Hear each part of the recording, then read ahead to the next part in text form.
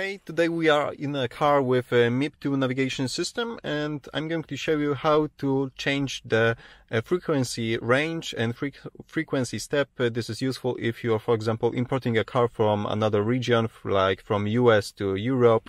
So right now we can check that the uh, range ends at uh, 108 and it starts at 875 and the step is 0.1. So this is default setting for Europe, but uh, you can change it to a different one. For example, uh, let's change it to US uh, frequencies. So let's go to unit 5F. This is uh, OBDeleven already connected to the car. So let's go to 5F. We are going to long coding. Let's switch the view to the bit byte view. And we are going to byte 09 byte 09 and over here we have frequencies for the FM band and for the AM band. And right now the first one is on, first bit is on and other three are off.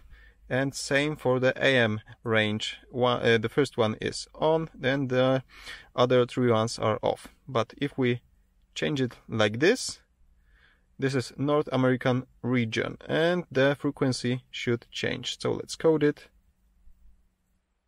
coding was accepted.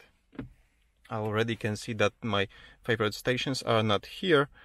And let's try to set it manually. Let's check what's the maximum range. It's 107.9 and on this side is 87.7 and the step is 0.2 megahertz. So this is how you change uh, radio frequency region in MIB2 device. This goes for all MIB uh, devices, not only Volkswagen, but also Skoda, Seat, Audi, um, I believe also Porsche with the PCM4. Okay, check the description for more details. Give me thumbs up if you like this simple tutorial and subscribe for future ones. See you soon.